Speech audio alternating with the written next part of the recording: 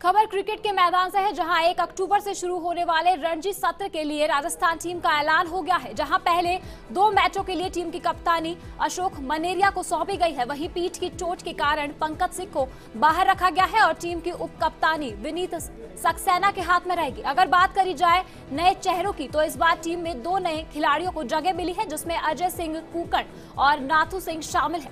इस टीम के साथ ही अंडर 19 टीम का भी ऐलान हो गया है, जिसमें कप्तानी महिपाल को मिली है। आपको बता दें कि एक अक्टूबर को राजस्थान का पहला मैच दिल्ली से है। राजस्थान रणजी टीम का ऐलान हो चुका है और इस बार टीम की कमान सौंपी गई है अशोक मनेरिया को जो हमारे साथ खुद मौजूद है। बात करने के लिए अशोक सबसे पहले बहुत बहुत स्वागत है professor thank you sir Ashok नई ज़िम्मेदारी तो किस तरह देखते हैं इस नई ज़िम्मेदारी को जी नहीं मैं बहुत बार ये काम कर चुका हूँ तो इतना कोई मुश्किल काम नहीं है होगा मेरे लिए। और शायद सारे लड़के हम बहुत सालों से साथ खेल रहे तो कोई इतनी आपत्ति आने नहीं वाली है। अशोक, इतने लंबे समय से यहाँ क्रिकेट बंद रहा तो किस तरह परेशानियाँ आई प्रैक्टिस के लिए? क्योंकि इतने लंबे समय बाद खिलाड़ी वापस आए हैं।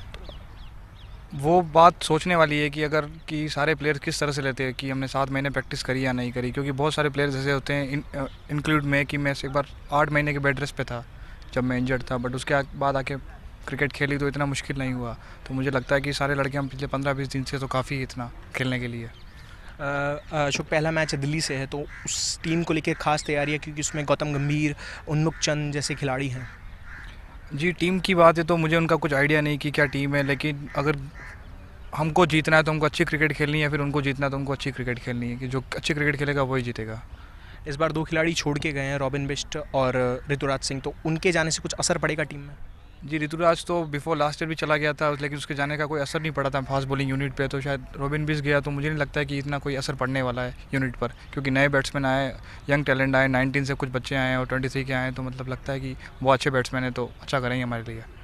और कुछ खास स्ट्रेटेजी राजस्थान की टीम ने बनाई है इस बार की रणजी के लिए?